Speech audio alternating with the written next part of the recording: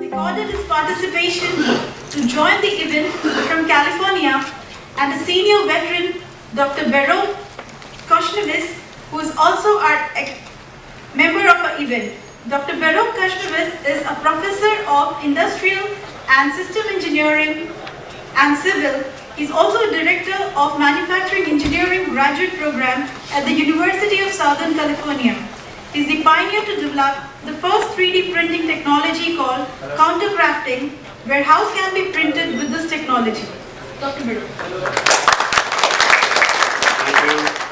Thank you. Uh, I'd like to thank uh, Mr. Shibu John. He's put a lot of effort in organizing this uh, event, uh, which, which is very timely, I believe, uh, like the rest of the people who spoke. Uh, the 3D printing is important, it's going to have impact, uh, which is kind of serious. Uh, it fundamentally changes the way we design and prototype and it makes uh, new products possible. Never before, creating complicated geometries that are possible today were actually possible. Uh, although there are many, many manufacturing processes around. Uh, and um, the implications, especially for developing countries, I think is pretty big. Uh, no longer you need uh, very specialized and expensive equipment and expert uh, technicians and engineers uh, in order to realize certain design concepts. Um, so uh, it will be the design more so than the manufacturing hardware which will become important in the future. And design, as you know, could be very transportable. Uh, you can email designs uh, while uh, sending expensive machinery around and being able to acquire expensive machinery will not be uh, easy for uh, developing countries in a lot of cases. So to me, that's the most exciting part of it. I believe uh, the future of humanity should be really targeting uh, equality in the way of standard of living. Uh, it does not make sense to have so many poor people around the world and, and, and a few rich countries.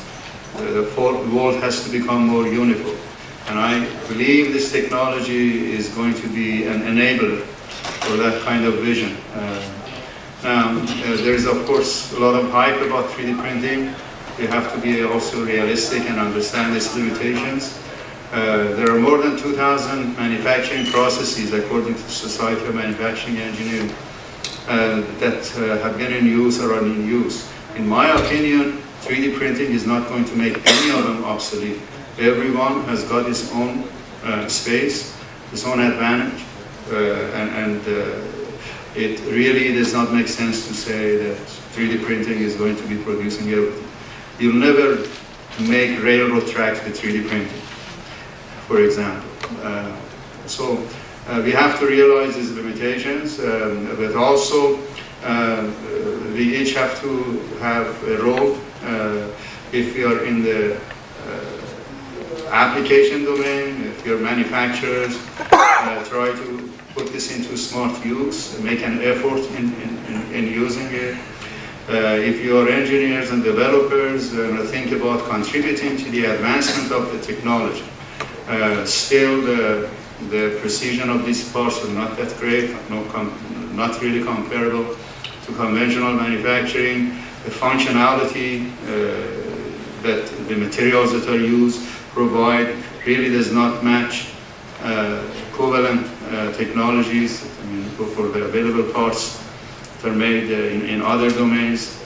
Um, and the speed, of course, is, is very slow compared to uh, conventional manufacturing, while, for example, uh, plastic injection molding spits out a part every few seconds. For the same part, you may have to wait one, two hours uh, on, on a 3D printer to be printed. So this is a serious limitation in ever bringing this uh, technology into uh, mass production uh, domain.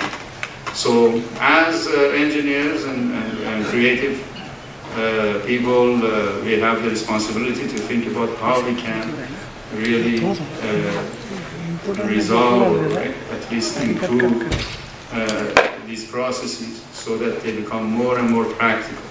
Thank you.